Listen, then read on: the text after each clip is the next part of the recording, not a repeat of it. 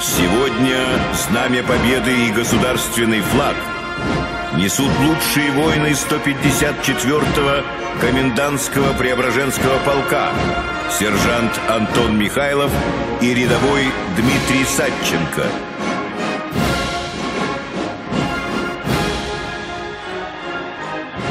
Глубоко...